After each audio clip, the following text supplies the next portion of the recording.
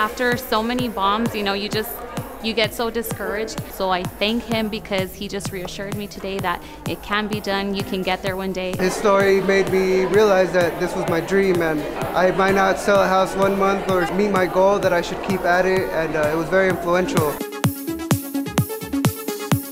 True, when you invest in yourself, invest in your future, and that's what you got to continue on to doing. Really just learned about investing in myself and really just staying ahead and doing what I have to do to get it done. I absolutely appreciate that someone like Quint is taking the time to help realtors understand that a great part of their success is selling new homes. I am super excited and motivated to get out there and start selling. I'm so thankful to Quint for what he's done, his excitement, what he brings to the table. I encourage everyone out there to hear this man. I mean, I think it's inspired everybody.